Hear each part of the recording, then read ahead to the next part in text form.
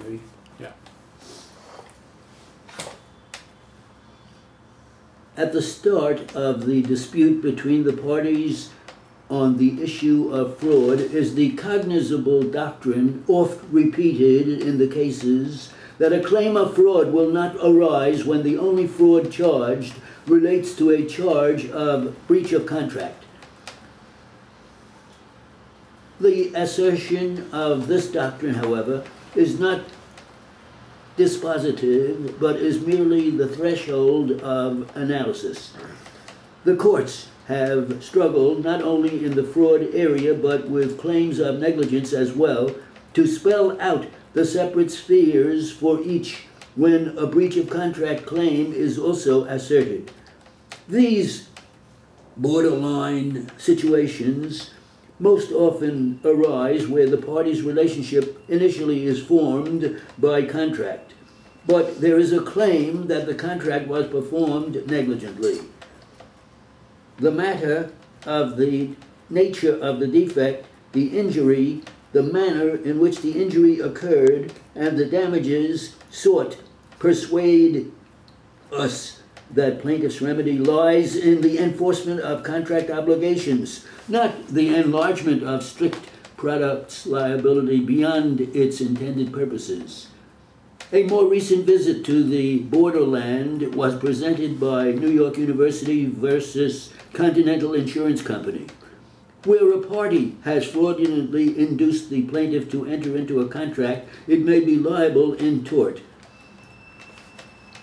where a party engages in conduct outside the contract but intended to defend the contract, its extraneous conduct may support an independent tort claim. Conversely, where a party is merely seeking to enforce its bargain, a tort claim will not lie.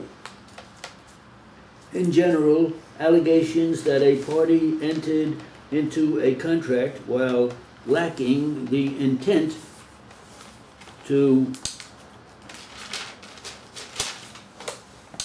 perform it are insufficient to support a fraud claim.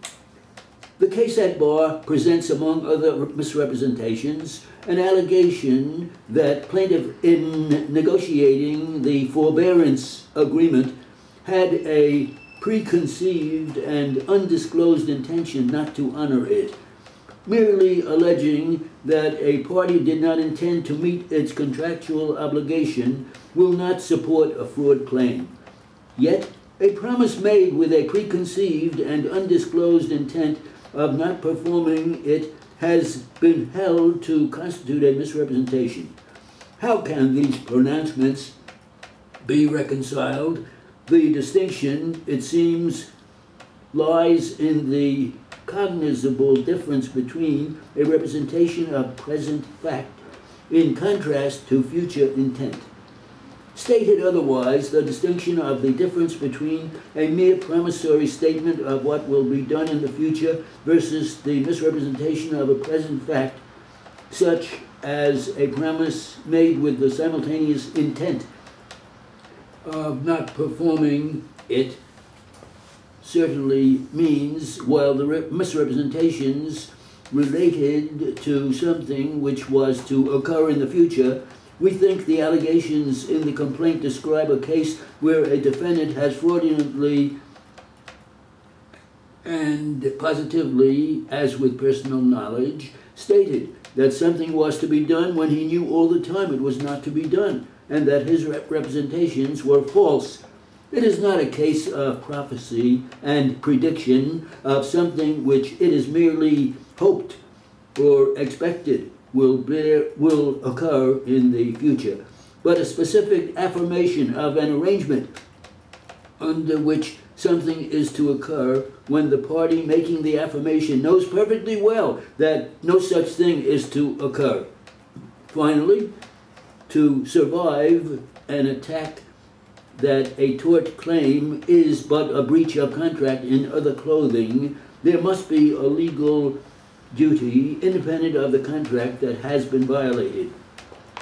To maintain a claim of fraud in such a situation, a plaintiff must either one, present probabilities and legal duties which operate from the duty to perform under the contract, or two, demonstrate a fraudulent misrepresentation, collateral or extreme to the contract, or three, see patent damages that are caused by the misrepresentation and unrecoverable as contract damages.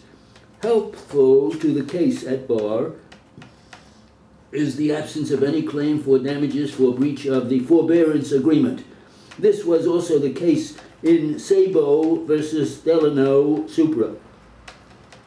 In light of the foregoing dis- discussion, defendants' pleading of fraud for damages and rescission suffice.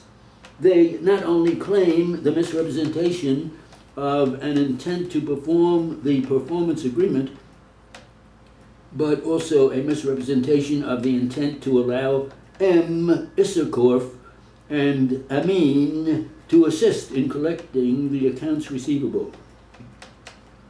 While the forbearance agreement required these defendants to use their best efforts to collect, it was silent as to uh, allowing them to do so. In that very tortured sense, plaintiffs' alleged undertaking to allow them to do so is collateral to the contract. Even if that were insufficient to support the fraud and uh, counterclaims, it would undoubtedly suffice as an affirmative defense to the plaintiff's allegations that they defaulted in using their best efforts to collect. If a promisor himself is the cause of the failure of performance of a condition upon which his own liability depends, he cannot take advantage of the failure.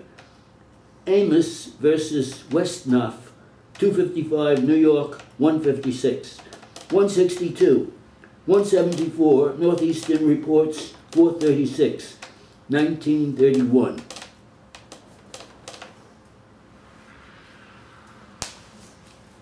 It. Pretty good.